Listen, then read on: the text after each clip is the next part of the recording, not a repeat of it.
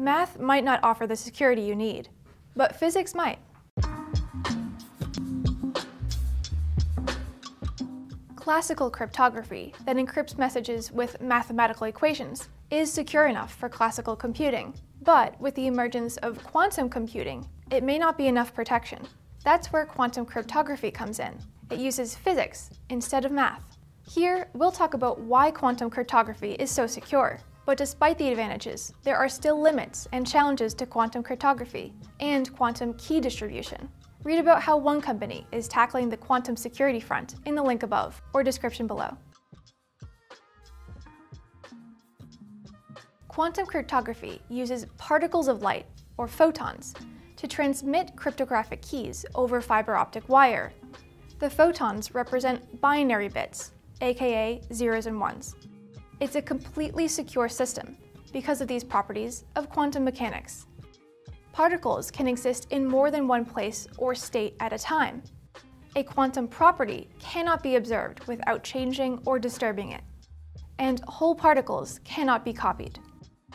Quantum cryptography follows a model developed in 1984 that goes like this. Alice wishes to send Bob a message. Alice initiates the message, sending Bob a key, or a stream of photons. But the photons first pass through a polarizer, polarizing each photon in a certain state, horizontal, vertical, diagonal to the right, or diagonal to the left.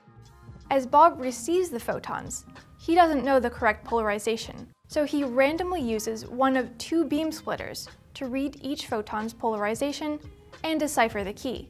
Alice and Bob can then compare the splitter they used.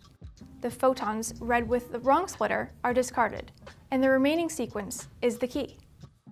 If there is an eavesdropper present who has the same tools as Bob, they would not only have the disadvantage of not being able to compare their results with Alice, but they would also change the photon positions that Alice and Bob expect to see, so they would blow their cover. It's impossible to measure the quantum state of a system without disturbing it. In theory, QKD is unhackable. After keys are exchanged between the involved parties, there is little concern that a malicious actor could decode the data without the key. What do you think? Is quantum cryptography the answer to the quantum computing threat? Share your thoughts in the comments, and be sure to hit that like button.